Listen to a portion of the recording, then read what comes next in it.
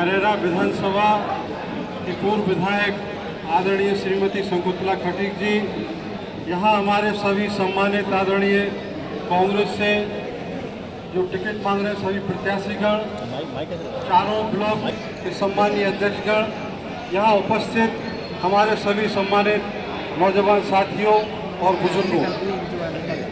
आज ऐसा नहीं लगता है कि जिन लोगों ने कांग्रेस को धोखा दिया है। वो एकमात्र अकेले खड़े रह गए हैं और आज जो माहौल यहाँ करेड़ा विधानसभा का दिखाई दे रहा है, उससे ऐसा लगता है कि आप सबने ये दृढ़ संकल्प ले लिया है कि यहाँ से कांग्रेस पार्टी को फिर से आप जिताएँगे।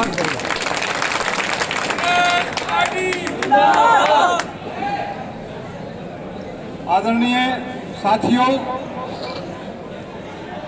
मध्य प्रदेश की जनता ने और आप सबने यहाँ 2018 में कांग्रेस पार्टी के प्रत्याशी को पाँच साल के लिए चुना था। आपने पाँच साल के लिए मेहनत की थी, खून पसीना आपने कांग्रेस के कार्यकर्ताओं ने अपना खून पसीना बहाया था।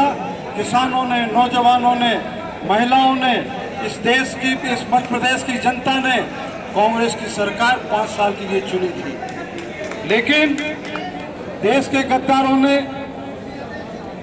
जो अठारह सौ सत्तावन में खेल खेला, वह उन्नीस सौ सड़सठ के बाद 2018 में वही खेल की पुनरावृत्ति की।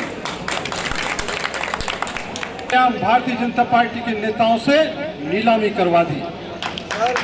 और ये ये कहा जाता है कि विधायकों को पैंतीस पैंतीस करोड़ रुपए मिले, मंत्रियों को 50 से 100 करोड़ रुपए मिले और बड़े नेताओं को कितने हज़ारों करोड़ मिले होंगे, ये किसी को पता नहीं है। लेकिन जब ये विधायक आपको धोखा दे सकते हैं जनता को धोखा दे सकते हैं तो ये किसी के मीत नहीं है।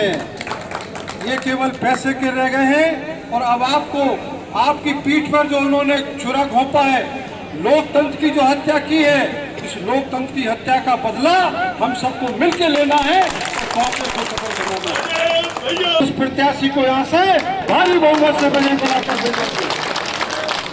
इन सारे प्रत्याशियों का सम्मान, सारे प्रत्याशियों की इनकी इज़्ज़त हमारे आपके हाथों में और इनका जो इन्होंने संकल्प लिया है, हम सब मिलकर संकल्प लें कि करेला विधानसभा से हम यहाँ जो चौदह हज़ार से कुछ पहले कांग्रेस जीती थी जो धोखा देके चला गया, जो आपको बेच गया, जो सरेआम आपने नीलामी आप सबकी लगा दी, उससे आपको बदला लेना है और यहाँ से उसको कम से कम पच्चीस हज़ार वोटों से हराना है।